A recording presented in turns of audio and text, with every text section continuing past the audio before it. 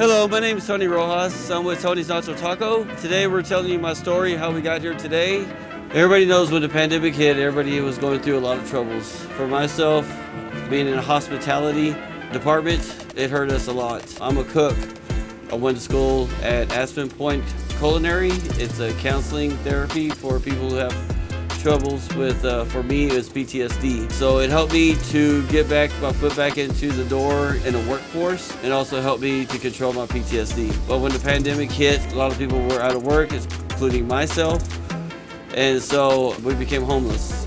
I ran into Charlie Rocket's Dream Team.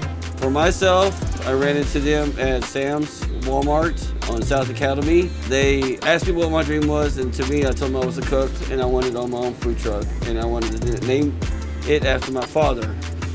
But when the thing hit on TikTok, we had 34 million views in 24 hours, and everybody loved to watch me cook the nacho tacos.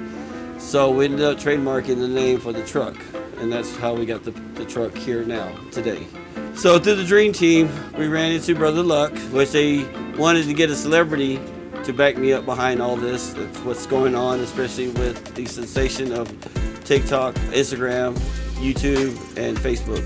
And so Brother Luck stepped in and he's been mentoring me on how to run a business. The first thing Brother Luck taught me was to say, I am an owner. And that way, I have my own business and I have to look at things certain way than I would as an employee.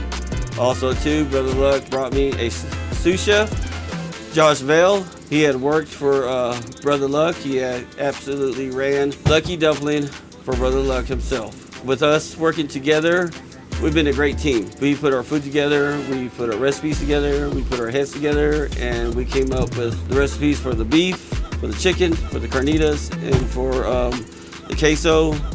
And all the reviews we've been getting back through Facebook, Instagram has been top notch, killing the food industry with our taste of food, and people love it.